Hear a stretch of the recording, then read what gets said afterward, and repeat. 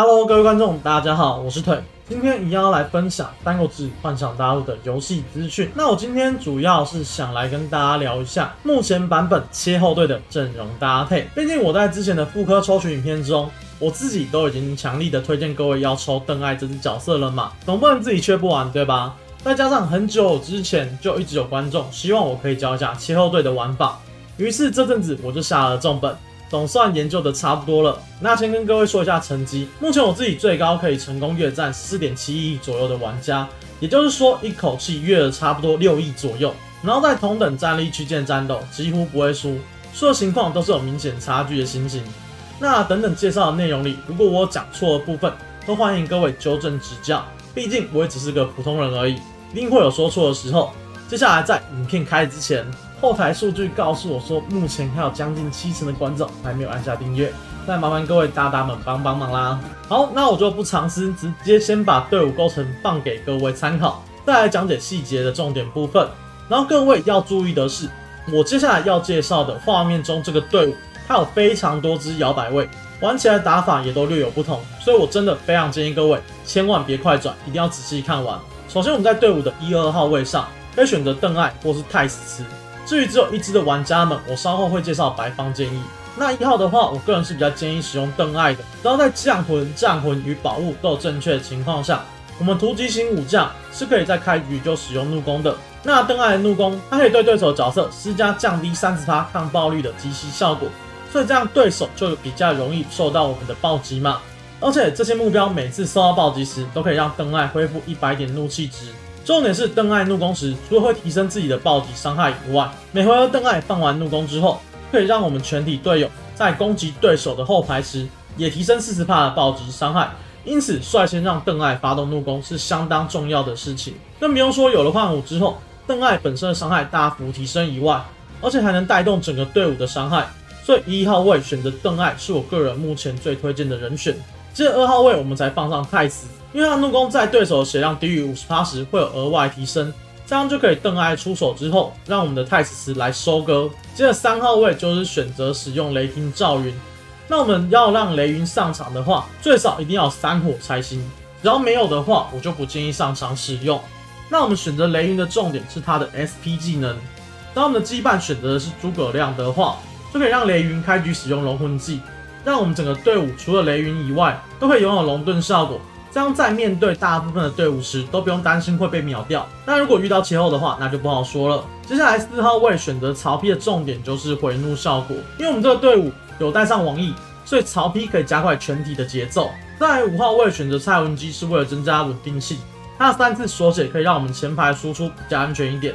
最后王毅一直都是切后队的热门人选，尤其是邓艾加强之后，地位又有上升一些，因为他的所有效果。都会让魏国的武将翻倍，不论是五星的暴击伤害，还是换武的三种能力都非常厉害，所以我还是蛮推荐选择王毅的。那替补的人选方面，我们结尾的时候再介绍，因为真的还蛮多支的。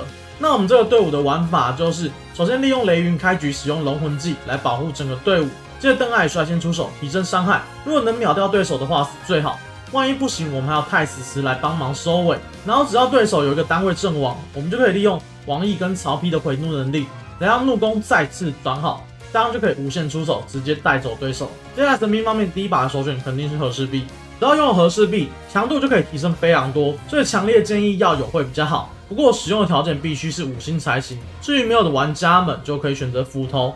接着第二把跟第三把的话，看你们要葫芦仙还是射日弓仙，其实都 OK。但通常顺利的话，用不到第二把神兵，游戏就已经结束了。然后我自己是建议斧头一射日弓二的搭配，这样打起来比较过瘾。在灵宠的部分，首先主战的话，我唯一建议使用九尾，因为它的效果是会优先选择血量较低的单位来攻击，而且只要低于百分比，还额外追加伤害。对对于我们这种打倒对手来回怒的队伍来说，九尾是目前最适合的人选。然后助战方面最强的搭配，我认为是玄武加白虎。首先玄武在助战的时候。可以让我们的怒攻打处于护盾状态的对手痛非常多，五星最多可以提升四发最终伤害，然后只要打破对手的护盾，还可以恢复最大生命值和驱散异常状态，所以超级推荐，尤其在面对目前出场率很高的高顺时，效果绝佳。但要注意的是，雷云的龙盾不算在内，它属于减伤 buff，并不是真的护盾。至于白虎的话，我一直都说它是灭队相当重要的灵宠。我们这个队伍开局就可以使用怒攻，因此第一个回合就可以发动白虎之怒，来累积提升攻击力和最终伤害。然后因为攻击次数很多，所以很容易累积到三成或五成来追加怒攻。因此九尾加玄武加白虎是目前最顶级的灭队挂件。那没有的玩家们也可以选择熊猫或是青龙，这两只也是跟伤害有关的灵宠，算是低阶版的替代品。OK，接下来潜能的部分，首先邓艾跟太史慈还有雷云，我都会选择二二三二配一，这潜能搭配千万别改，尤其是第三排的凯哥，少了这个开局的战斗力会下降很多。接着曹丕跟蔡文姬。如果要防范对手也是切后的话，就记得选择一一一一配二。至于攻击型就是三二一三配一或二。最后王毅的话，防范切后就是三二一三配一或二。至于平伤害的话，则是二三一一配三。接下来装备的部分有几个细节要跟大家分享。首先，如果你们灵宠有带白虎的话，就记得把你们最好的武器装给邓艾或是太史慈，让他们拥有最高攻击力。因为白虎的效果只会给攻击力最高的那位武将。至于没有带白虎的话，我会建议你们可以考虑把曹丕跟雷云的攻击力升到最高，这样貂蝉的怒攻跟九尾的助战魅惑就绝对不会打在邓艾跟太史慈的身上，因为这两个效果都是优先找攻击力最高的单位。当然，如果你们不怕魅惑的话，就一样让两只输出拿最好的装备吧。在战魂方面，邓艾、太史慈跟雷云这三只武将，然后选择长驱直入、堡垒冲击或者弱点突袭这种攻击型的都 OK。至于后排三支武将，看你们要全部都在怒灭、怜惜还是破釜沉舟，我觉得都可以。然后曹丕的话，建议用弱点突袭，伤害会还蛮不错的。然后王毅想补伤害的话，也可以带攻击型的战魂。最后换武方面，只要有开放的，就一定全部都要带，不然就没有必要让他们上场。尤其是邓艾跟太史慈，只要你们想玩气候的话，最少最少一定要其中一把，不然你们也可以试试看黄忠当主 C。但这个我就没有测试过，所以能不能用我就不清楚了。好，接下来我来跟各位介绍替补人选。不过站位方面，你们可能就要自己调整一下。首先第一只是诸葛果，它可以增加我们的怒气循环，让节奏加快。然后要注意的是，记得放在男性武将的前后。接着第二只是大乔，不过它玩起来比较像双管齐下。我们的邓艾跟太史慈很容易暴击，然后出手次数又多，所以很容易让大乔打满普攻追击。我的整体来说，推荐顺序在很后面。再来第三只是貂蝉，它重点就是开局跟怒攻的魅惑，主要用途就是拿来打内战用的。看谁运气好，先控制到主 C，谁就能拿到优势。接下来第四只是高顺，这个角色我个人算是相当推荐。首先他的怒攻给予的无视防御跟暴击伤害，对于切后队来说本来就是相当好用的能力。然后开局的后身护盾加上护盾炸开的几率晕眩。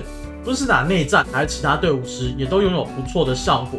所以你们只要有幻武高顺的话，是可以上场使用的，很强。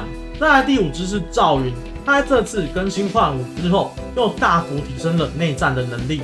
基本上只要把它摆在后排，遇到气候队时，是相当容易拿下胜利的。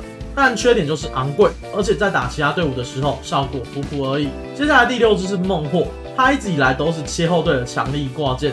开局就能给予对手异常状态，再加上觉醒之后，最高可以提升二十趴的伤害，让弱点突袭变得更强，所以还是很好用的。最后一只是郭嘉，它的用法就跟孟获一样，主要就是给予对手异常状态，让开局可以打得更痛。那其他像是鹰姬、董白、张辽这些角色，其实也有上场的空间，但由于我自己的练度不足，所以就没有去测试他们的强度。那如果有玩家使用之后觉得不错的话，也都欢迎留言跟我分享。